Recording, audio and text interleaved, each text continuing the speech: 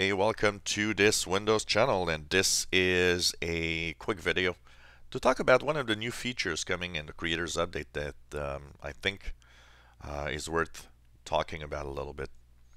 So right now, you know, if you try to find any security settings in your computer, uh, well, if you go here, you don't really find nothing that's related to security. There's privacy.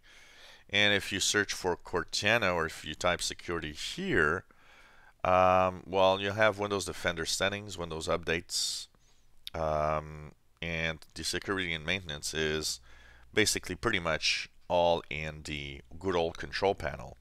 And that looks really drab and very horrible. This is, a, a, you know, it, it tells you the basics. Firewalls on, virus protections on, uh, stuff like that. Doesn't mean anything really. And uh, it it that that needed to change, and I think there's a step forward in this new panel that Microsoft is actually introducing in the Creators Update. Um, I mean, it's it's a good effort. It's a nice place to put everything. Yet there's maybe a few things. You know, um, Microsoft is an all or nothing company, and what I find in antiviruses in general, for example, is that they have too many things running, you know. So uh, as a tech guy, you know, I'll go to a client and then client's going to say, "Oh, uh, I get this pop-up that says my computer is running slow and maybe you should you should do this or that." And typically, it's most of the time the antivirus that now has a module to try to help you to make your computer faster. Um, you know, there's too much stuff in antiviruses today. Really too much. I mean, the panel should be so simple as you're protected, your firewall's on, and if you want to change settings or you know do a scan or do something, click here.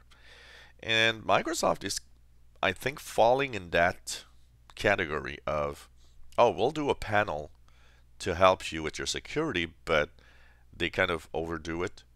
So, for example, here, you know, I find it really cool that there's a virus and threat protection shield firewall and network protection, that's okay. But you know what? That should have stayed the minimum of that. I do not really like a device performance and health in this panel because one of the biggest issues with that is the computers I've often have a lot of difficulty understanding what's a performance issue. So as a computer gets older, you get alerts of, oh, your device performance and health is not good, you need to do something. And typically there's often nothing to do because the computer's just getting older and it is getting slower. So I'm, you know, I don't know. Device and performance and health has nothing to do with your security center. Has nothing to do with the security of your computer. I'm not sure this should be in here. App and browser control. Um, it's not very clear that it's for security. It just says app in browser control. So, um, you know, you're using recommended settings. What does that mean? We have no idea. Not very clear what that does, you know. So, um, hmm. That is also something that I'm not sure is or needs to be in this security center. It's not, I don't see a security issue when I look at app and browser control. And finally, finally, options. Manage your family, um, how your family uses the device. It is also not necessarily a security option. Um, you know, maybe the uh, family options should go back to where they were in in in um, user accounts that's pretty much where you want to play with family options. Look at user accounts and do things like that. So um, I think Microsoft is, uh, you know, of course, making a, a great effort in, in creating this new panel, but it's overdoing it. It's putting maybe a little too much information and too much stuff and things that, you know, device performance and health has nothing to do with security and app and browser control maybe, but it's not very clear, and I'm not sure that's what you have in the security stuff. I don't know. Uh, you know, this panel should have virus and threat protection, firewall and network protection, and uh, I don't know, a big check mark that says, hey, all of your security options are on and working, you know, clearly. Um, because this is just going to, you know, confuse people. And I can see myself as a tech guy having to deal with, oh, well, uh, it says my app and browser controls are not okay. Yeah, but that depends on what you chose and what you're doing with your PC. It might be that, yeah, well, they're not what's recommended because you personalized them or an app personalized them for you. Device performance and health, I can already see.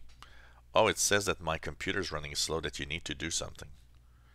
Well, it can run slow, and it it is possible that because it's older or because of what you're doing, it's running slow, and there's really nothing you can do about it. So, uh, and it's not has nothing to do with security. So I don't know, um, overdoing it maybe, but at least let's give them a thumbs up to the fact that they are concentrating all of that in a uh, security center in Windows 10.